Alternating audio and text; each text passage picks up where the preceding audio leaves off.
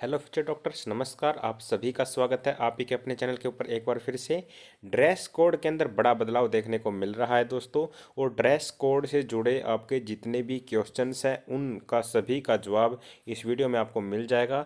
NEET twenty twenty देने वाले aspirant इस वीडियो को ज़रूर देखें। आपके लिए काफ़ी ज़्यादा हेल्पफुल ये वीडियो रहने वाली है और इस वीडियो को जितना ज़्यादा हो सके शेयर करें दोस्तों, क्योंकि नीट ट्वेंटी ड्रेस कोड में जो जो बदलाव हुए हैं, आपको इस वीडियो में जानने को मिल जाएँगे जितने भी आपके क्वेश्चन हैं, उनका सभी का आंसर मिल जाएगा। और अगर आपने चैनल को सब्सक्राइब नहीं किया है तो चैनल सब्सक्राइब कर देना। उसके बाद बेल बटन को ज़रूर दबा दें, ताकि हम जैसे भी कोई नई वीडियो डालें तो आपके पास नोटिफिकेशन आ जाए और आप उस वीडियो को देख पाएँ। तो चलिए अब ज़्यादा देर न करते हुए देख लेते हैं नीट ट्वेंटी ड्रेस कोड से जुड़े सभी क्वेश्चन तो सबसे पहला क्वेश्चन है कि क्या नीट 2020 परीक्षा में फ्लोरल प्रिंट वाले कपड़े पहनकर जा सकते हैं? तो उत्तर है नहीं। नीट 2020 ड्रेस कोड के मानदंडों के अनुसार फूलों की कढ़ाई या अन्य डिज़ाइन वाले कपड़े पहनने से बचना चाहिए। नेक्स्ट है, क्या लड़कियों को नीट परीक्षा केंद्र में लेगिंग पहनने की अनुमति है? तो उत्तर है नहीं। महिला नीट परीक्षार्थियों केवल सलवार और ट्राउजर्स पहनने की अनुमति है। नेक्स्ट क्वेश्चन है यदि मैं जींस पहनता हूँ तो क्या मुझे नीट ट्वेंटी ट्वेंटी परीक्षा देने की अनुमति दी जाएगी? तो उत्तर है हाँ। जींस की अनुमति है, लेकिन यह बहुत अधिक फैशनेबल न हो और इसमें बड़ी जेबें या जिप नहीं होनी चाहिए, तभी आप जींस पहन सकते हैं। नेक्स्ट है, क्या मैं नीट ट्वेंटी ट्वेंटी के दौरान अपने सूट के साथ दुपट्टा पहन सकती हूँ? तो उत्तर है, दुपट्टा पहनने पर कोई स्पष्ट दिशा निर्देश नहीं दिया गया है। हालाँकि ऐसे कपड़ों से बचना ही सबसे अच्छा उपाय है, जिनका विवरण इन्फॉर्मेशन ब्रोशर में नहीं है। इसके बाद नेक्स्ट है, क्या नीट 2020 में टैटू की अनुमति है? तो उत्तर है नहीं। एनटीए द्वारा निर्दिष्ट नीट ड्रेस कोड 2020 के अनुसार टैटू मेडिकल परीक्षा में सख्त वर्जित है। नेक्स्ट है, क्या हम नीट परीक्षा केंद्र में कैलकुलेटर का उपयोग कर सकते हैं? प्रोस्पेक्ट्स में दिए गए निर्देशों के अनुसार कैलकुलेटर या किसी अन्य इलेक्ट्रॉनिक उपकरण को परीक्षा हाल में ले जाने की अनुमति नहीं दी जाएगी। इसके बाद नेक्स्ट क्वेश्चन जो फ्रिक्वेंटली पूछा जाता है वो ये है, क्या नीट ट्वेंटी ट्वेंटी परीक्षा कक्ष में घड़ी ले जाने की अनुमति है?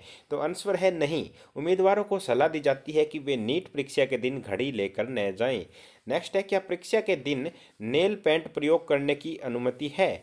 उत्तर है, नेल पेंट से बचना ही सबसे अच्छा तरीका है, क्योंकि यह परीक्षा केंद्र में चेकिंग के समय परेशानी पैदा कर सकता है।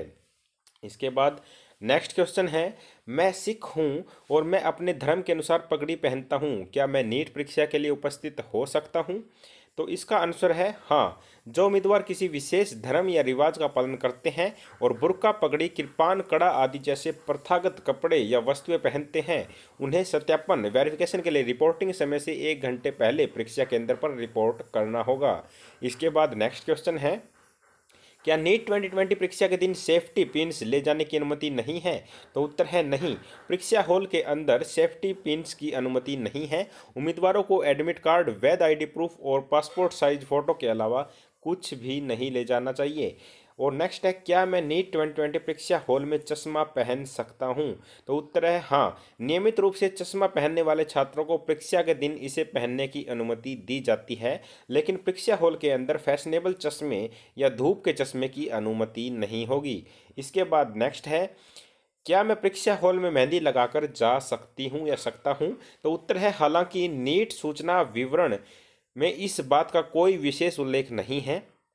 कि उम्मीदवार परीक्षा हॉल में मेहंदी लगाकर जा सकते हैं या नहीं। इसलिए इससे बचना ही बेहतर है।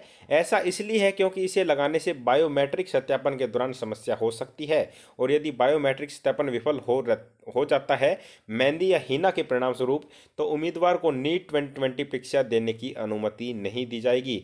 ये वो क्वेश्चन हैं जो नीट ट्वेंटी ट्वेंटी के एस्पिरेंट्स फ्रिक्वेंटली पूछते हैं, जिनका आंसर आपको अभी अच्छे से मिल गया होगा। और क्या क्या सावधानियाँ आपको जब एग्ज़ाम देने जाओ तो बरतनी चाहिए, वो भी आपको पता लग गया होगा। अब उम्मीद करता हूँ कि आपका कोई डाउट नहीं बचा होगा। फिर भी कोई डाउट रहता है तो आप कमेंट बॉक्स में हमसे पूछ सकते हैं और इस वीडियो को देखने के लिए आप सभी का बहुत तहे दिल से धन्यवाद। Thank you.